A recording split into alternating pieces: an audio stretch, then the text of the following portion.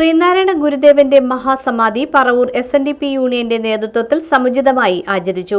ഇതോടനുബന്ധിച്ച് നടന്ന സമ്മേളനം യോഗം കൗൺസിലർ ഷീബ ടീച്ചർ ഉദ്ഘാടനം ചെയ്തു. തൊണ്ണൂറ്റേഴാമത് ശ്രീനാരായണ ഗുരുദേവന്റെ മഹാസമാധി Paravur S N D P യൂണിയന്റെ ആഭിമുഖ്യത്തിൽ സമുചിതമായി യൂണിയൻ ആസ്ഥാന മന്ദിരത്തിൽ ആചരിച്ചു. യൂണിയൻ തല വൈദിക യോഗത്തിന്റെ നേതൃത്വത്തിൽ ഗുരുമണ്ഡപത്തിൽ പ്രത്യേക പൂജാതി കർമ്മങ്ങൾ നടന്നു. തുടർന്ന് യൂണിയൻ ഓഡിറ്റോറിയത്തിൽ നടന്ന സമ്മേളനം യോഗം കൗൺസിലർ ഷീബ ടീച്ചർ ഉദ്ഘാടനം ചെയ്തു.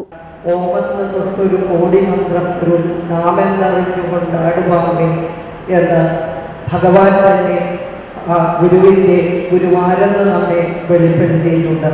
ആ ഭഗവാനിൽ ദീപ്തമായ സ്വരങ്ങൾ അയതുടങ്ങിക്കൊണ്ട് പ്രാർത്ഥനയും ഗുരുദേവ പ്രഭാഷണങ്ങളുമായി ഈ ഒരു സുദിനം നമുക്ക് ധന്യമാക്കാമെന്ന് മാത്രം പറഞ്ഞുകൊണ്ട് ഈ സമാധി ദിനാചരണം പറഞ്ഞ എസ് യൂണിയനിൽ ഇവിടെ സമാരംഭിക്കുകയാണ് union administrative committee chairman C N Radhakrishnan അധ്യക്ഷത വഹിച്ചു.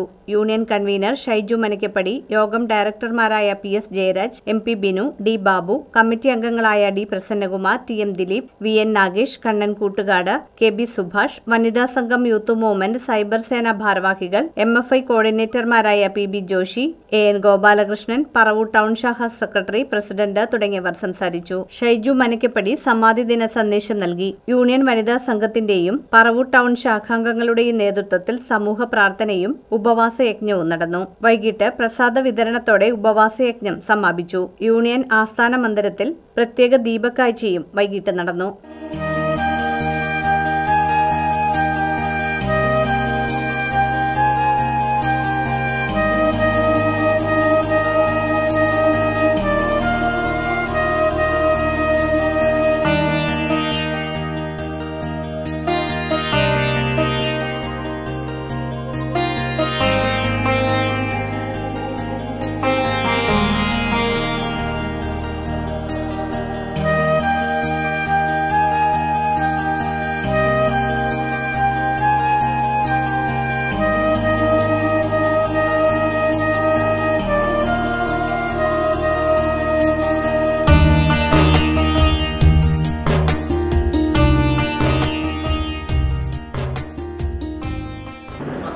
Paravur S N D P യൂണിയന്റെ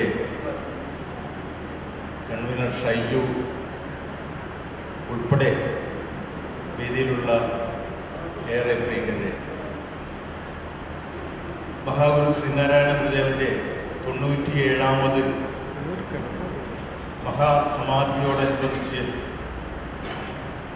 ഇന്നിവിടെ പ്രാർത്ഥനയും ഉപവാസവും ആരംഭിക്കുകയാണ്. അതോടനുബന്ധിച്ചുള്ള ഈ ചടങ്ങിൽ ആദ്യമായി ഗുരുസ്മരണം മുന്നോട്ട് പോവുക. കൃത്യം മൂന്ന് പതിനഞ്ചിന് എല്ലാവരും ഇവിടെ നിന്ന് പോകുന്നവരെല്ലാവരും മൂന്ന് പതിനഞ്ചിന് സമാധി സമയത്ത് ഇവിടെ കൃത്യമായി എത്തുകയും ഇവിടുത്തെ ആ സമാധി പ്രാർത്ഥന കഴിഞ്ഞതിന് ശേഷമുള്ള